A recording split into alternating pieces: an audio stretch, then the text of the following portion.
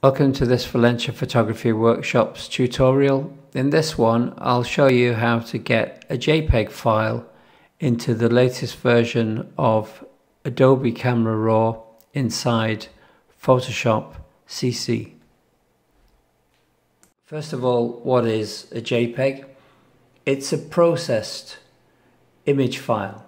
So where a lot of the settings have already been made and embedded, if you like, into the file. It's the opposite of a raw file, which basically is like the negative um, in a film.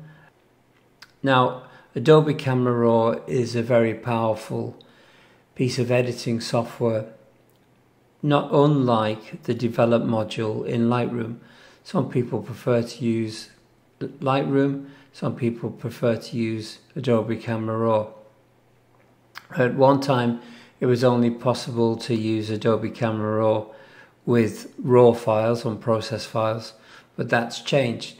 And so I'm going to show you how to get the, the benefits of a raw file editing with a JPEG. So here we are in Photoshop.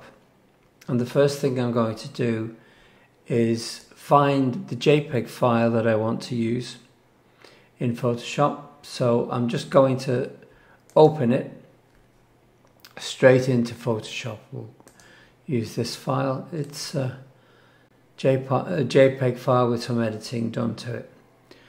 Um, how you used to get into Adobe Camera Raw with the JPEG has changed, and so in in Photoshop um, CC now, it's slightly different.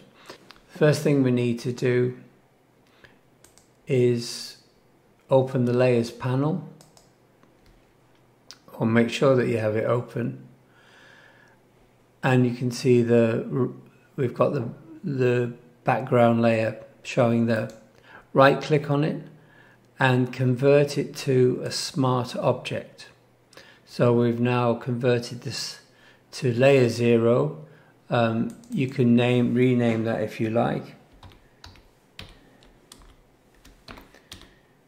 JPEG ACR or well, whatever you want, JPEG to Adobe Camera Raw.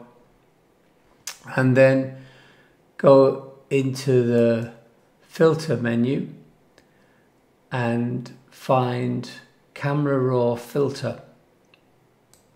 Click that and this will convert the, the image and open the Adobe Camera window.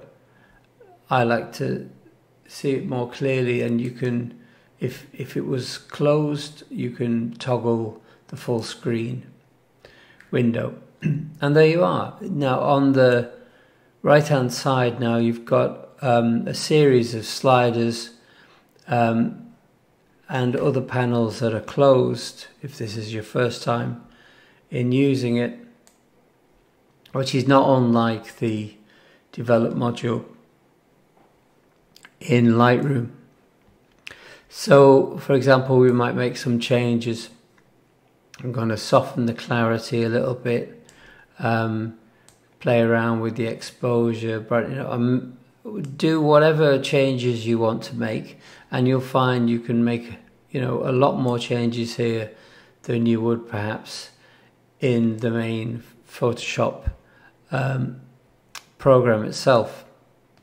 Once all your changes are made, hit OK and that brings your process file or reprocess file in this case back into Photoshop then if it's finished go into layer and flatten image and then you're back to the background layer.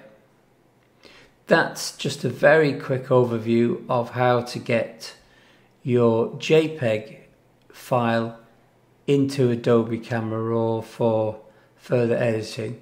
In future videos I'll look at Adobe Camera Raw in more detail and compare it with Lightroom.